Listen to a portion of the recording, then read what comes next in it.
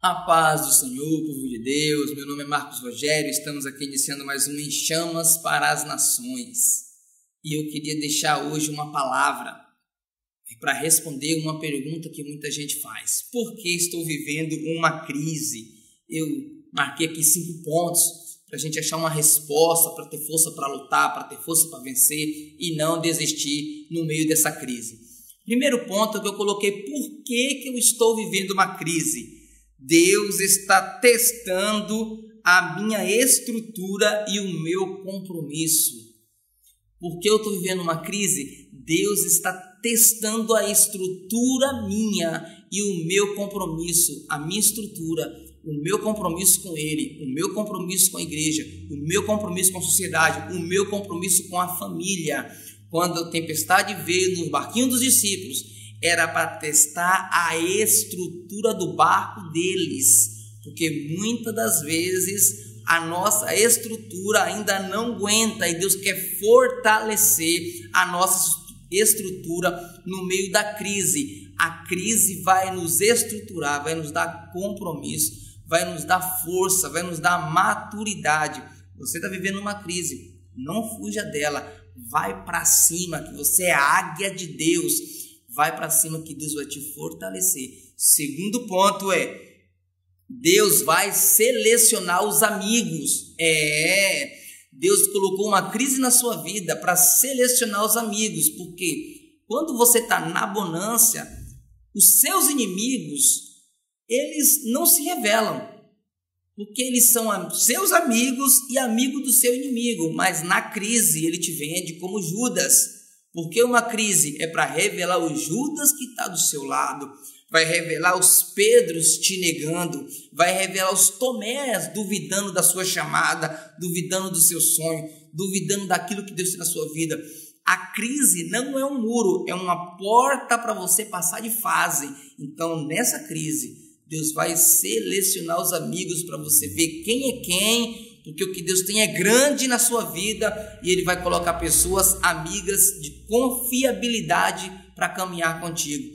Terceiro ponto, Deus está levando você para o próximo nível, para o next level. Deus está te levando para o próximo nível. Deus viu que você agora aumentou de fase. É como jogar, de video, jogar videogame. Quando você passa de fase, fica mais difícil. Ficou mais difícil? Ficou, né? As coisas ficou difícil? Você está passando de fase. Você passou de nível. Deus está levando você para um nível maior. Você até agora venceu o leão, até agora venceu o urso. Próximo nível é Golias. Depois, próximo nível é Saul. Depois, próximo nível vai ser Adonias. Vai ser Absalão. Não fuja da crise. Deus está te levando para o próximo nível. Tá com, com seu casamento está indo para o próximo nível. Sua vida financeira, próximo nível. Sua intimidade com Deus, próximo nível. Por isso que as coisas foram ficando mais difíceis para você. Quarto ponto. Deus quer te ensinar a ter equilíbrio na crise. Muitas pessoas vão se desequilibrar na crise, tomar decisões por impulso, sem pensar no meio da crise. Mas Deus vai ver você se equilibrar no meio da crise. Tem uma tempestade, está todo mundo desesperado. Jesus vem equilibrado naquilo que desequilibrava eles, porque Jesus sabia lidar com a crise. Ei, Deus vai te dar equilíbrio onde muita gente não tem equilíbrio. Pode ser na sua empresa, pode ser em qualquer área da vida. Vão olhar para você e falar como que ele consegue se equilibrar no meio dessa situação.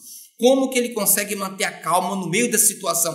Como que ele consegue manter a calma desempregado, a ameaça de despejo, a ameaça de divórcio, tanta crise, o filho saiu de casa e você vai se manter equilibrado, porque depois dessa crise Deus vai colocar tudo no seu lugar. Quinto ponto, essa crise é uma oportunidade de você crescer.